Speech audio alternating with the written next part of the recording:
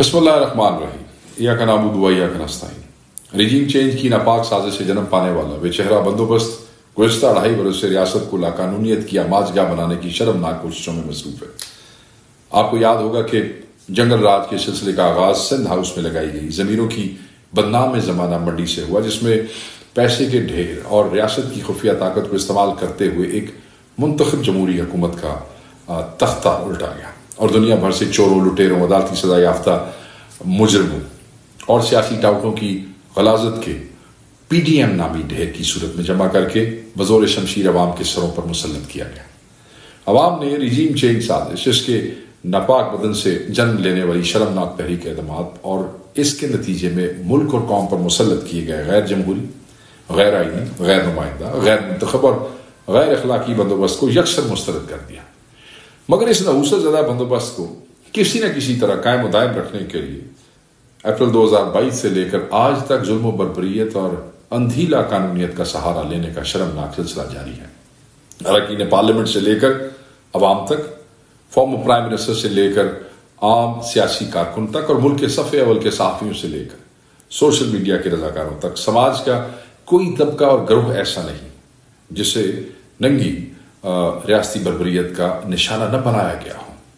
पूरी रियासती मशीनरी को हर किस्म के कायदे कानून से आज़ाद करके 24 करोड़ पाकिस्तानियों खसूस तहरीक इंसाफ के हज़ारों लाखों कारकुनान पर जबर फस्ताइत के पहाड़ तोड़ने पर लगा दिया गया। और पुलिस को गुंडा फोर्स, जबकि मुख्तरा को किसी कानूनी, इखलाकी और इंसानी जबते से आज़ाद रियासती प्रेडिटर्स में तब्दील कर दिया गया। अदलिया, जो दस्तूर और शहरियों के बुनियादी आइनी हकूक की हिफाजत की पाबंद है, को पहले बेनकाब पोश मुदाखलतकारों के ज़रिए नकेल पहनाने की कोशिश की, मगर जब अदालतें पूरे तरह शिकंजे में ना आ सकी और इस्लामाबाद हाई कोर्ट और सुप्रीम कोर्ट वगैरह से दस्तूर की बालादस्ती के हक में चंद आवाज़ें बुलंद हुई तो अदलिया को बाहसीत अदारा दफन करके निजी पंचायतों और चौपालों का मतरूक शुदा निज़ाम फिर से एक नए अंदाज में ज़िंदा करने का मनसूबा बनाया गया। ताकि हर हराम को बसानी हलाल और हर हलाल को बगैर किसी तरद और रुकावट के हराम करार दिया जा सके। फॉर्म सैंतालीस की रस्सी से बांधकर पार्लियामेंट के अस्तबल में जमा किए गए शरीफ, जरदारी और बेनंगो नाम सियासी खच्चर हमेशा की तरह आँखें बंद करके इस नापाक मनसूबे का बोझ उठाने के लिए भी काफ़ी होते हैं। अगर बसाते खुद आइन इसकी राह में एक बड़ी रुकावट ना बन जाता। और इमरान खान की क्यादत में मुल्क के 24 करोड़ बाशूर अवाम इसकी पुश्त पर ना आके खड़े हो जाते। चुनाचे अदलिया को दफन करने के लिए आइन का हुलिया बिगाड़ने और शख्सी ख्वाहिशात और एजेंडे को दस्तूर का दर्जा देकर मुल्क को इसमें जकड़ने के लिए आईनी तरमीम का ड्रामा रचाया गया। और इससे फॉर्म सैंतालीस हज़ार रबड़ स्टैंप पार्लियामान से मंजूर करवाने की कोशिश की गई। हिजब इख्तलाफ खसूस तहरीक इंसाफ और इसकी हम ख्याल जमातों ने मैंडेट चोरों के दस्तूर पर इस ताज़ा तरीन हमले को कामयाबी से पसपा किया। तो शिकस्त खुर्दा गासिब इन्हीं हथकंडों पर उतर आए जिन्हें इस्तेमाल करके उन्होंने अप्रैल 2022 में जमहूर की नुमाइंदा हुकूमत पर शब खून मारी। अक्टूबर को चार अक्टूबर को लाखों पाकिस्तानी इमरान खान की कॉल पर आइन की हरमत और इसके वजूद के तहफ़ के लिए निकले तो इन रियासती मनसूबा साजों की अना को शदीद ठेस पहुँची। अपना किबला दुरुस्त करने और खुद को आइन का पाबंद बनाने की बजाय मुल्क भर में सियासी कारकुनों की मावराय अदालत पकड़ धकड़ दहशत गर्दी और कत्ल के इल्ज़ाम समेत दर्जनों छोटे झूठे बड़े झूठे पर्चे और चादर चार दीवारी की पामालियों की बदतरीन लहर का आगाज़ किया गया। गाय चोरी से लेके डकैती तक छोटे बड़े पर्चे। पुरमन एहतजाज की पादाश में खसूस पंजाब में सैकड़ों बेगुनाहों की गिरफ्तारियाँ अमल में लाई। सिर्फ़ इस्लामाबाद में पच्चीस झूठे मुकदमों में कमो बेश साढ़े आठ सौ कारकुनान को गिरफ़्तार किया गया और इन पर दहशत गर्दी समेत बेबुनियाद मुकदमात कायम किए गए। इस्लामाबाद के सदर और हकीकी तौर पर मुंतब एम एन ए आमिर मोर को तीन सौ दो के छोटे मुकदमे में शामिल किया गया। आपने सोशल मीडिया पे जांबाग पुलिस एहलकार का बयान देखा होगा, रावलपिंडी से लगभग साढ़े चार सौ कारकुनान को गैर कानूनी तौर पर पकड़ा गया और इन पर झूठे मुकदमात बनाए गए।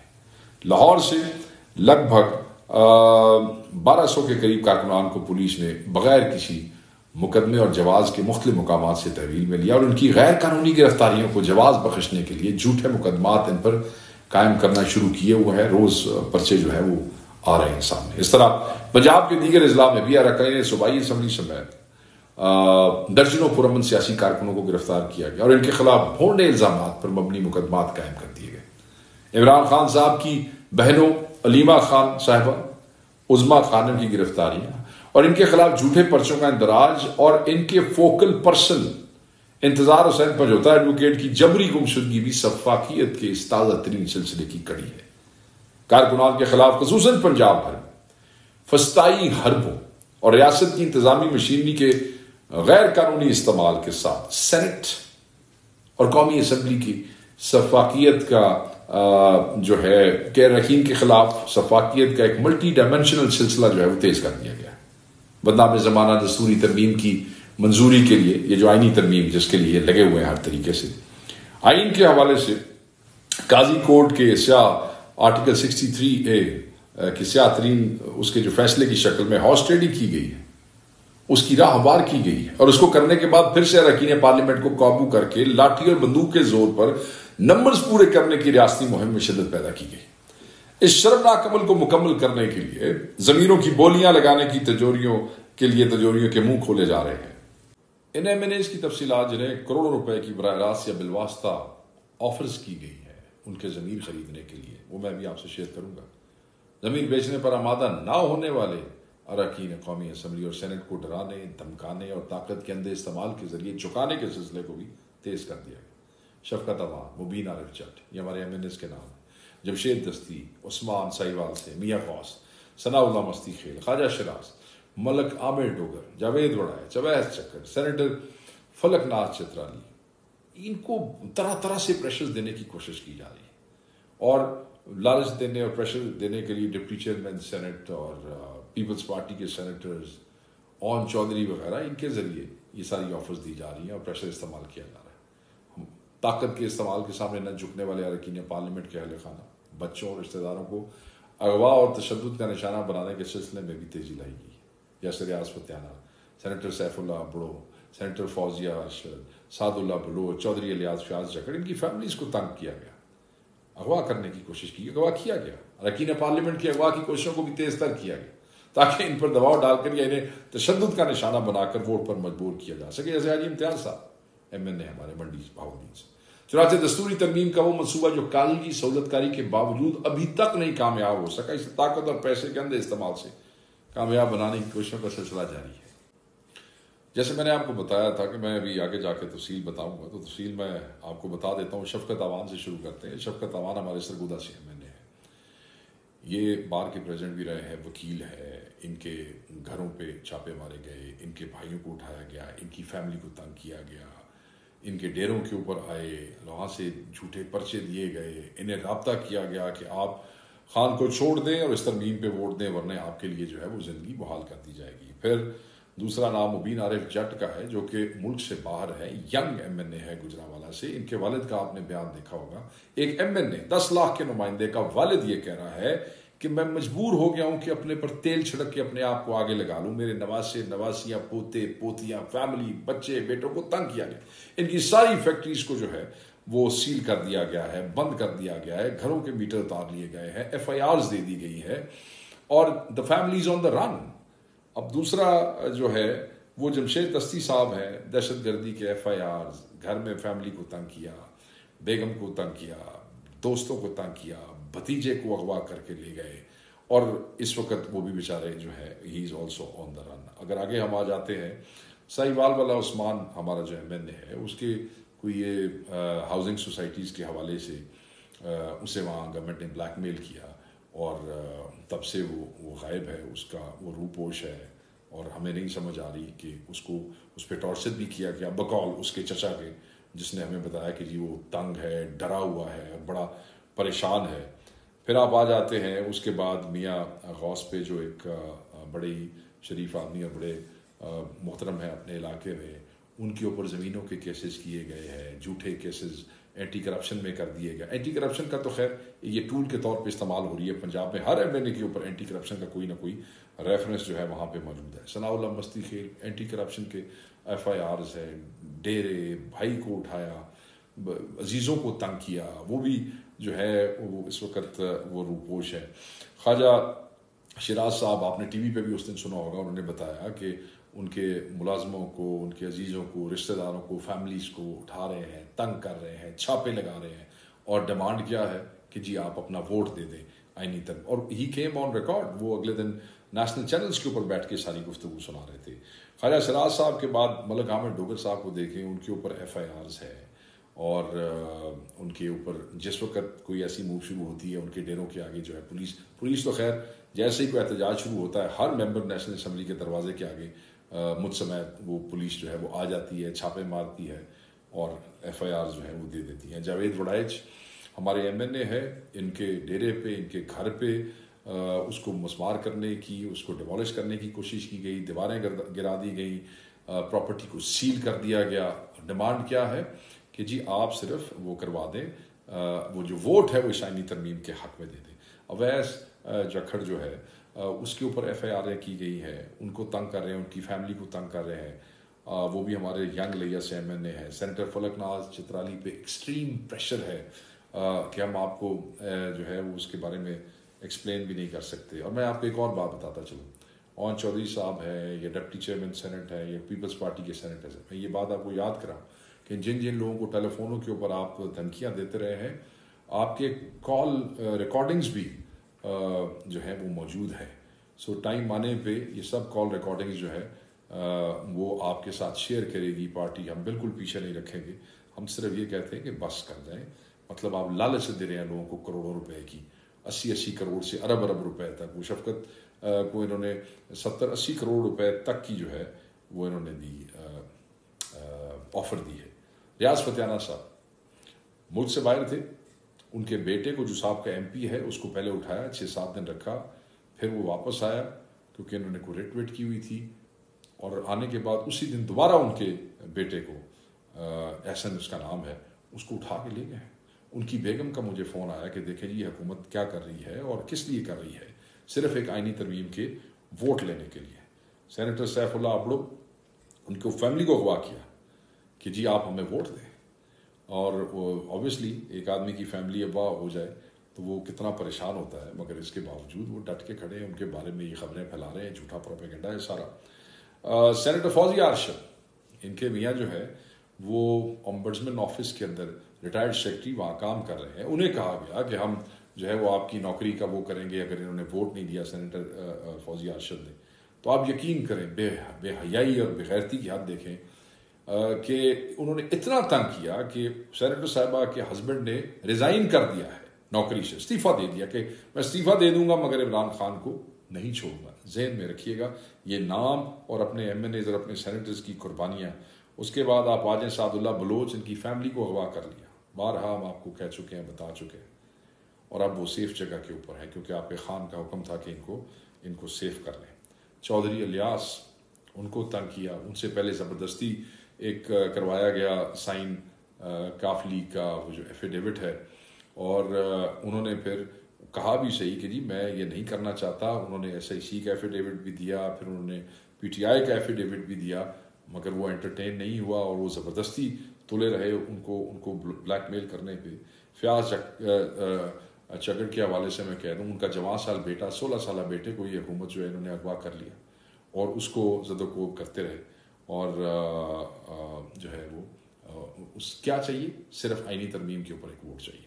मौजम जतोई जो है, उनके साथ झूठे पर्चे दिए, उनको तंग किया, वो मुल्क से बाहर है। क्या चाहिए? आइनी तरमीम के ऊपर एक वोट चाहिए। मुझे अपना ज़िक्र करना मुनासिब नहीं लगता, मगर मेरे तकरीब सारे के सारे, सौ फ़ीसद जो वो वसाइल है, ज़राए हैं आमदन वो सारे बंद कर दिए गए एफ़ आई आर जो है, वो कभी एंटी करप्शन वाले आ जाते हैं और कभी जो दहशत गर्दी वाले आ जाते हैं और कभी दफ़ा एक सौ चौतालीस वाले आ जाते हैं। कोई एम एन ए हमारा ऐसा नहीं है जिसके ऊपर एफ़ आई आर ना हो रही हो। कोई एम एन ए ऐसा नहीं है जिसके घरों के ऊपर। ये भी मैं उस दिन देख रहा था फैसलाबाद से सफराज के घर के आगे भी पुलिस खड़ी हुई थी। आ, जो हमारे मेजॉरिटी एम एन एज है मेजॉरिटी सेनेटर्स वो छुपाए इसलिए हुए हैं कि ये उनकी फैमिलीज़ को उठा रहे हैं। आप मैं वर्कर से मुखातिब अंदाज़ा नहीं कर सकते कि ये लोग, इनके बच्चे, इनके बहन भाई, माएँ, बहनें, बेटियाँ, इनके बुज़ुर्ग, इन आपके एम एन सेनेटर्स के, वो सब किस कर्ब और अजियत से ज़िंदगी गुजार रहे हैं? और सब के सब सिर्फ़ इसलिए खड़े हैं कि खान की अमानत है, जो आपने दी है, और वो खान के हुक्म के मुताबिक आगे देनी है। इनको आपकी सपोर्ट की ज़रूरत है। इनको आपकी दुआओं की ज़रूरत है। इनको दुआएँ चाहिए ताकि ये इस्तकामत से खड़े हो सकें, जो खड़े हुए हैं अभी तक। इन्होंने आपका सर नहीं झुकाया और याद रखिएगा कि कोई भी है, और ये तो एक लंबी लिस्ट है, मैं किस किस का आपको नाम गिनवाऊँ? कहाँ कहाँ किस किस एम एन ए के ऊपर क्या क्या टॉर्चर हुआ किस किस को कैसे तंग किया गया? के पी के के अंदर भी एम एन एस है। डॉक्टर अमजद को भी इन्होंने तंग किया। उधर से सुहेल सुल्तान को कह रहे थे कि तुम अपनी वो बदलो, नहीं तो हम तुम्हारे खिलाफ रेफरेंस भेज देंगे। वो जो हमारा के पी के से एम एन ए है कि जी तुम कहीं अटॉर्नी ऑफ़िस में काम करते थे और इस किस्म की चीज़ें। तो ये सारे खेल, ये सारे तमाशे, मैं आपको क्या बताऊँ, दास्ताने हैं, जुल्म की आपके एम एन एज और आपके सेनेटर्स पे, मगर वो खड़े हुए हैं। तो मैं ये चाहूँगा कि वर्कर्स को कहूँगा कि वो ये सारी कुर्बानियाँ आपके लिए दे रहे हैं। तो इनको अगर रोका था तो रोका इसीलिए था। और रुकने के बावजूद भी वो इस सारे जुल्म से गुजर रहे हैं, क्योंकि खान का हुक्म था कि इनको सेफ़ रखना मैं तो ये दुआ करता हूँ और आप भी दुआ करेंगे सारे महफूज रहें और इस आइनी तरमीम को रोकने की जंग में ये सफ़े अबल के मुजाहिद हैं। आपका इनके लिए दुआ बड़ा ज़रूरी है। इन आपको, आपकी अप्रिसिएशन इनके लिए बहुत ज़रूरी है। मैं ये चलता हूँ आगे। तो ये कुछ नाम थे और मैं आपके साथ कुछ और नाम भी शेयर करूँगा जल्द। इस पूरे अमल में सेनेट के चेयरमैन और कौमी असम्बली के स्पीकर का किरदार, नहायत जानबदाराना अफसोसनाक और किसी हद तक मुझे माना है। सेनेट का चेयरमैन नामुकम्मल ऐवान से मुंतखब होकर मैंडेट चोरी की इसी स्कीम का बेनिफिशरी है, जिसके तहत आठ फरवरी का कौमी इंतबाब होगा। दूसरी जानब स्पीकर कौमी असम्बली की कुर्सी की इंतबाब हारे हुए सैंतालीस हज़ार टोले के वजूद की भरूर मिन्नत है।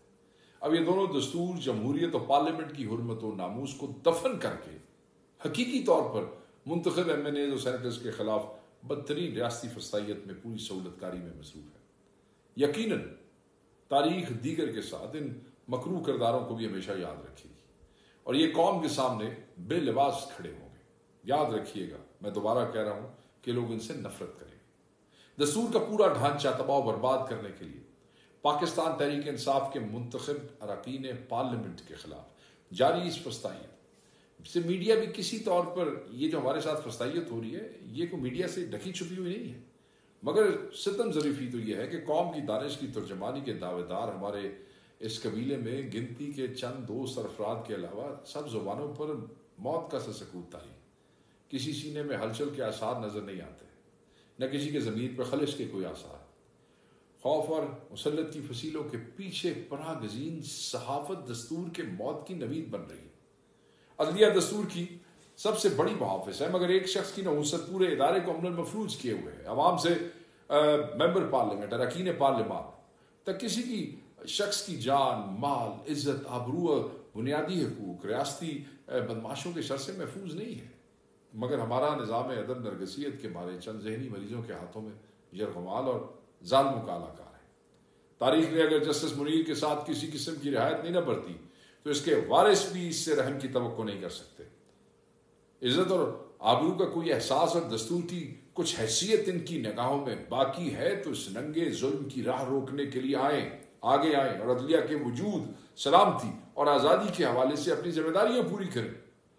इमरान खान साहब और हमारी उम्मीदों का वाहिद मरकज रबुल इज़्ज़त के बाद 24 करोड़ अवाम है।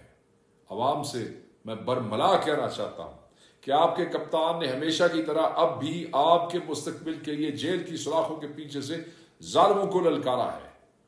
दस्तूर अगर मस कर दिया गया तो कमज़ोर पर ताकतवर का तसल्लुत पुख्ता तर हो जाएगा और बेइंसाफी को आईनी कबूलियत और जवाब मिल जाएगा। दस्तूर दुश्मन, हमें अपने झूठे प्रोपेगंडे के जाल में फंसाकर मायूसत बदल करना चाहते हैं और रात दिन हमारी सफ़ों में नफा को इंतशार फैलते देखना चाहते हैं। मगर हमारे कायद ने इनके अजायम को भापते हुए ही इस हसास तरीन मौके पर अरकान पार्लियामेंट, मेंबर पार्लियामेंट, आपके एम एन ए को रियासी अगवाकारों और बदमाशों की दस्तरत से खुद को महफूज रखने की हिदायत दी। हमें यह याद रखना है कि आईनी तरमीम के इस नापाक मंसूबे की नाकामी में पाकिस्तान का मुस्तबिल पोशीदा है। चनाचे कप्तान की हिदायत की रोशनी में इसका हर कारकुन खा वो पार्लियामेंट का कारकुन हो, रुकन हो, या आम वोटर हो, मुकम्मल तौर पर यकसू, यकजा और मुतहद होकर अपना किरदार अदा कर रहा है। यही हमारी हकीकी कुत और जालमों के लिए दर्द सर की बड़ी वजह है। तहरीक इंसाफ के कारकुनान और अरकान पार्लियामेंट एक जिसम की मानंद, बदतरीन रियासती फस्ताइत के मद्दे मुकाबल खड़े और लाजवाल कुर्बानियाँ पेश कर रहे हैं। आपके वो नुमाइंदे जिन्होंने जिन्हें आपने अपने वोट के ज़रिए अवानों में भेजा है, आपकी आवाज़ और आपकी ताकत है, जबकि इनकी ताकत आप है। जो कप्तान से गद्दारी का मुर्तकब होगा, इसका कल भी आपने मुहासबा किया, आइंदा भी आप ही करेंगे। अल्लाह ने चाहा तो हम पाक सरजमीन को फितना करों के शिकंजे से जल्द आज़ाद करवा लेंगे। और अपने कायद इमरान खान की क्यादत में पाकिस्तान को इस डगर पर डालने का सफ़र फिर से आगाज़ करेंगे उस सफ़र का, जिसे बुज़ुर्गों ने साजिशों से ही डीरेल किया है। इमरान खान जिंदाबाद, पाकिस्तान पाइंदाबाद।